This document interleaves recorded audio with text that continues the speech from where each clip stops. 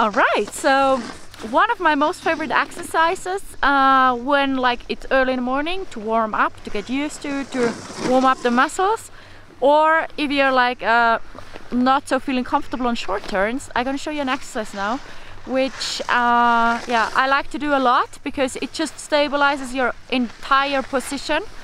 Um, it brings up like like you get more comfortable on skis. For me, it brings up the pressure on the right position, uh, and that's why we're gonna do it now.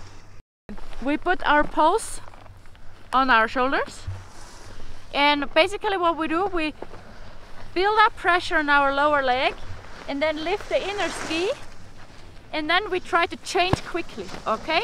So there's a, it's a lot of exercises, combination but everything we need for skiing and for short turns. Let's do it!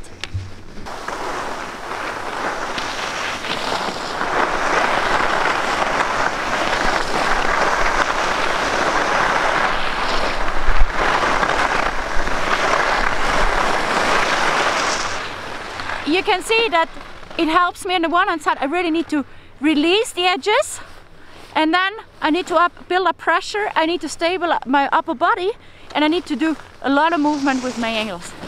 And we keep doing it. Let's go for it.